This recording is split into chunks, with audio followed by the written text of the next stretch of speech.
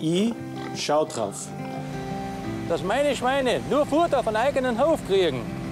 Dass nichts Unerlaubtes drin ist. Ich schaue drauf, dass die Schweine gesund sind und sich wohlfühlen. Dass man weiß, was wirklich herkommt und wie es aufgezogen worden ist. Ich schaue drauf, dass die Transportwege kurz sind. Dass man genau weiß, wo das Tier geschlachtet und das Fleisch zerlegt wird. Ich schau drauf, dass alles hygienisch ist. Dass der pH-Wert und die Qualität passt. Und dass das Fleisch immer richtig gekühlt ist. Unsere Sorgfalt, unser Siegel, das Armer Gütesiegel.